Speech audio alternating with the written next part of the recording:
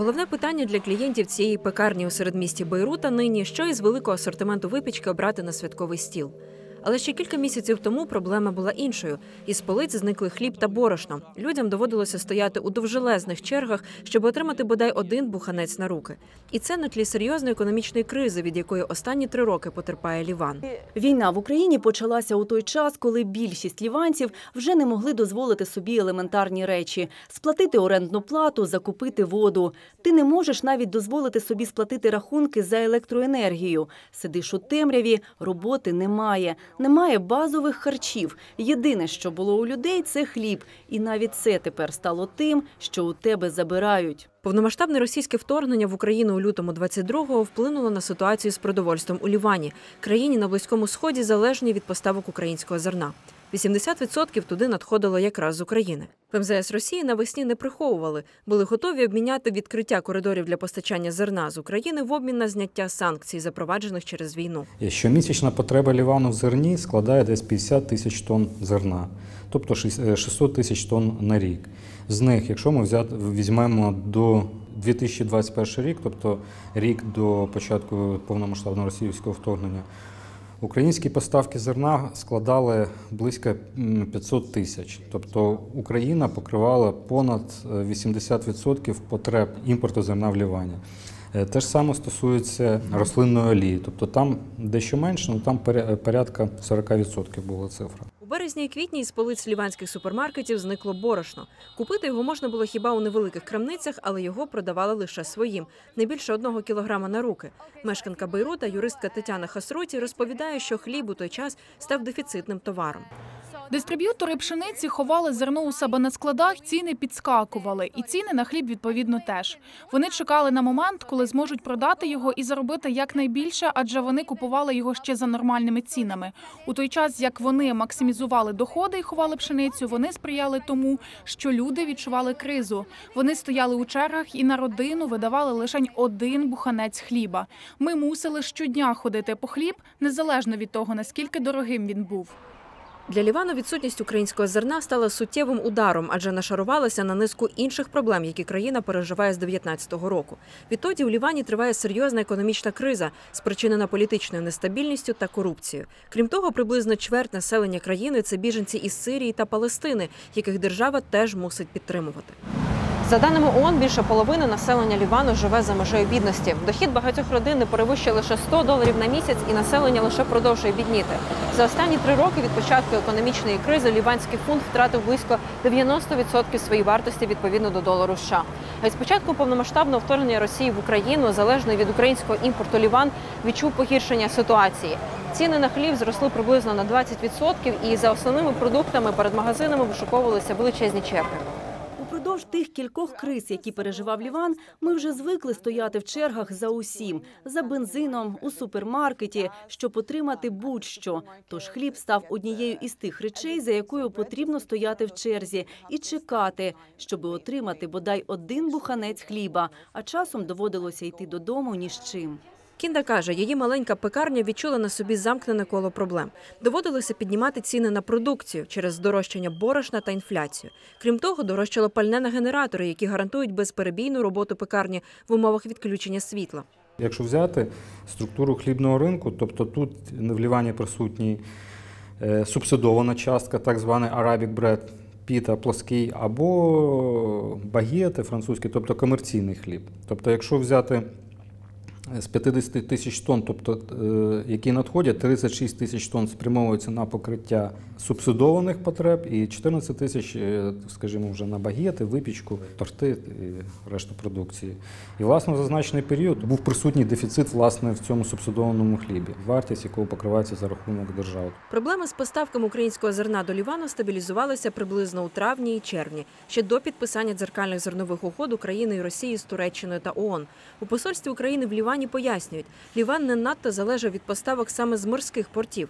Натомість він більше зацікавлений у надходженні суден малої тонажності із дунайських, тобто річкових портів Рені та Ізмаїла. З 2020 року у Лівану більше немає можливостей приймати та зберігати великі вантажі.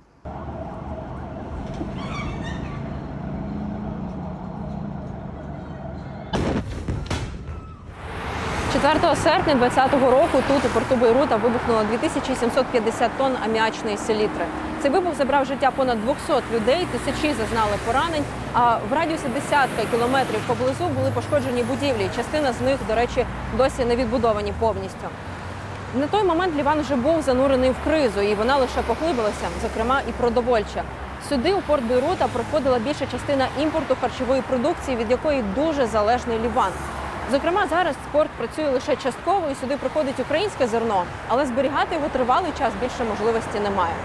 Ліван зіштовхнувся ще з однією проблемою. За даними української МЗС, Росія намагалася доставляти туди викрадене з України зерно. У липні в один із ліванських портів увійшло сирійське судно з українським ячменем та борошном. Українська сторона домоглася його арешту, але вже за кілька днів судно відпустили. Ймовірно, після тиску на суддю з боку радикального групування Хезболла, яке фінансується Іраном та є впливовою політичною силою в Лівані. Ліванська влада ухвалила рішення про те, щоб це судно відпустили. І досі залишається велике питання: що ж змінилося? Адже спершу вона підтвердила. Так, це вкрадене зерно, але потім передумала. У Лівані зараз усе політизовано. Будь-хто може натиснути на судову систему. Між Хезболою та Росією є близькі зв'язки. Росія надає зброю сирійському режиму. Вони близькі союзники в Сирії. Тож це цілком могла бути домовленість між ними. Ми отримали беззаперечні докази, які підтверджують, що власне те зерно або вантаж, точніше, там було ячмінь та борошно, яке прямувало сюди, і яке було, е, незважаючи на ті сертифікати, які були представлені, що воно як е, нібито має е, походження з Росії, що воно було виготовлено це борошно е, з зерна, яке було вивезено з тимчасово окупованих територій, е, в даному випадку Запорізької області, це з міста Бердянськ. Як би там не було, ми не дали розвантажувати цей вантаж тут. І ми не, да, не дали е, перетворити Ліван на споживача викраденого українського зерна. Врешті-решт воно опинилося в Сирії. Тобто, як би там ми не було, ми все одно розглядаємо не повну перемогу, але перемогу. Чому? Тому що ми не е, протидіяли наміра, намірам російської сторони е, розширити ринки збуту, тобто, для своєї викраденої продукції. Наразі це вони. Ну, це злочинна схема, і один злочинець з одного боку це Росія, інший злочинець це режим Асада. Наразі в посольстві України в Лівані кажуть, що відпрацювали відстеження суден з викраденим українським зерном із Криму і можуть протидіяти їхньому прибуттю до Лівану. Та попри це, Росія продовжує використовувати для незаконного збуту українського зерна інші країни, як от Сирію та Лівію. Програма НАСА з продовольчої безпеки та сільського господарства з'ясувала, що Росія від початку вторгнення вкрала і вивезла з України зерна на 1 мільярд доларів. У квітні заступник голови Радбезу Росії Дмитро Медведєв називав експорт зерна Кремлем його тихою зброєю. Зерновий шантаж один з інструментів колоніальної політики, який Росія використовує щодо України, б'є по залежних від українського імпорту країнах насамперед економічно. Редакторка ліванського видання Аннахар Моналіза Фрейха не виключає, що Росія через крадене зерно намагалася просувати і свій політичний вплив у Лівані. Однак зауважує, тут є більш впливові гравці, і це не було так явно помітно.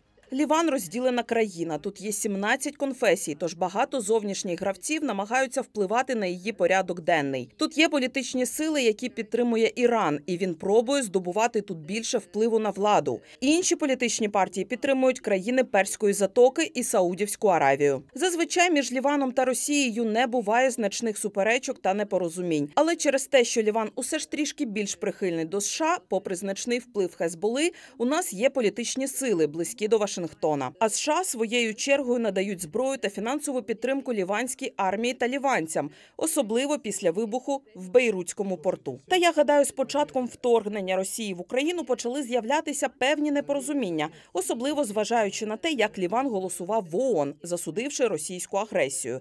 Відтоді Ліван намагається перебалансувати відносини. І, наприклад, коли було голосування за виключення Росії з Ради ООН з прав людини, Ліван утримався. Цього року, попри затримки із поставками, Україна змогла відправити Лівану 370 тисяч тонн зерна, лише на 5% менше ніж минулого року. Частка російських поставок залишилася незмінною близько 10%. Якщо проблем із наявністю хліба в пекарнях Лівану більше немає, все ж через ціни на їжу значна частина населення не доїдає. Волонтерська ініціатива Foodblest уже 10 років допомагає з харчами нужденним ліванцям. Але за останній рік кількість тих, хто потребує підтримки, помітно зросла. Водночас людей, які готові пожертвувати кошти або продукти, суттєво поменшало. За останні три місяці ми робили лише два ось таких збори. Раніше ми проводили їх щотижня. Раніше ми щотижня роздавали посилки.